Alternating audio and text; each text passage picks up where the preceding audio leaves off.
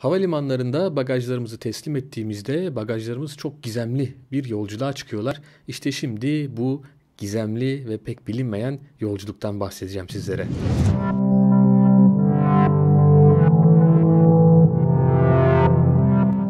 Havalimanına geldiniz. Güvenlik kontrolünden geçtikten sonra check-in kontuarına vardınız ve bagajınızı teslim ettiniz. Burada görevli bagajınızın sağına, soluna, önüne, arkasına çeşitli etiketler yapıştırıyor. Daha sonra da valizinizi banda koyuyor ve valiziniz o bantta ilerliyor. Daha sonra başka bir banda aktarılıyor ve gözünüzün önünde valiziniz kayboluyor. Orada valiz bir yerlere gidiyor ama nereye?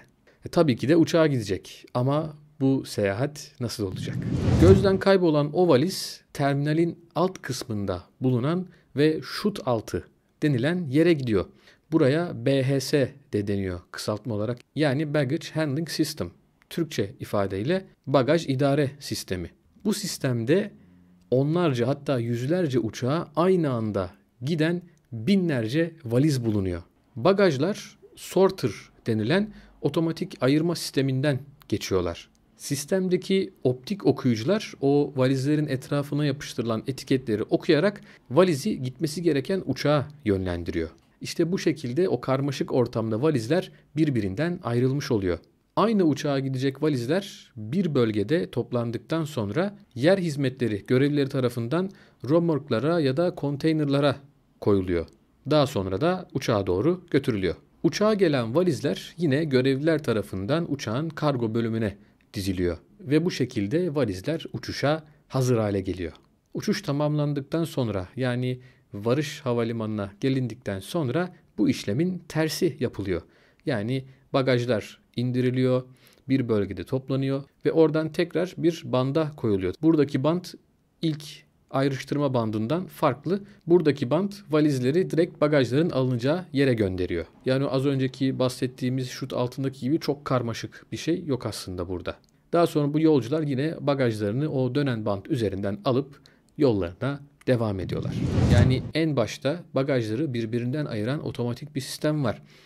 Tabi burada akıllara şu soru gelebiliyor. Yani madem böylesine otomatik bir sistem var, işte optik okuyucular var, bagajlar gitmesi gereken yere gidebiliyor bu sayede. Ama bagajlar nasıl oluyor da kayboluyor ya da karışabiliyor diyebilirsiniz. Burada şunu söyleyebiliriz. Bagajların kaybolmasının en büyük sebebi bir teknik aksaklıklardır.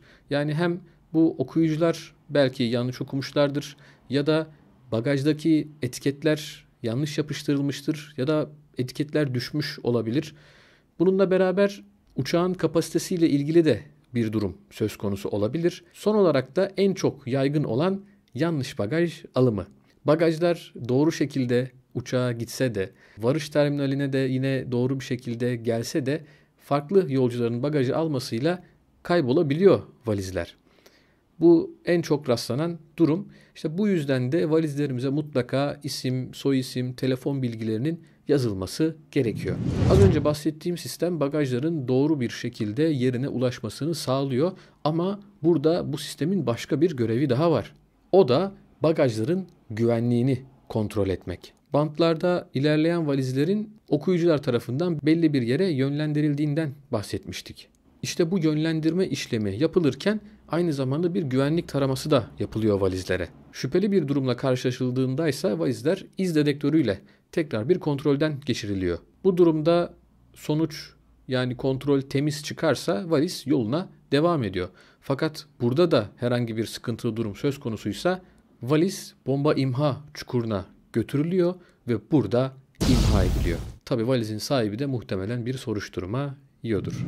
Evet bu videomuzda valizlerimizin havalimanındaki o gizemli yolculuğundan bahsettik. Aslında o sır perdesini bir nevi aralamış olduk. İnşallah havacılıkla ilgili bu tarz videolar yapmaya devam edeceğiz. Sizin de bu konuda sormak istediğiniz sorular varsa yorum kısmından bize belirtebilirsiniz. Bir sonraki videoda görüşmek üzere.